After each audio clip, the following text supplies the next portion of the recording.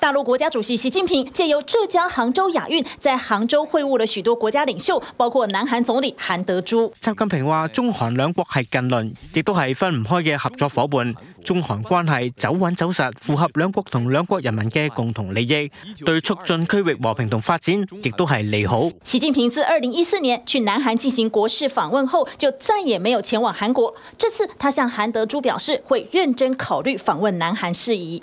科威特是最早同新中国建交的海湾阿拉伯国家，也是最早同中国签署“一带一路”啊这个合作文件的。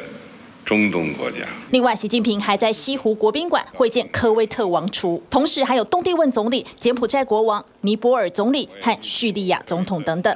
They have been systematically going about trying to build relations with countries that have been under sanction by the United States and the West, or have been basically declared rogue nations by the US and the West.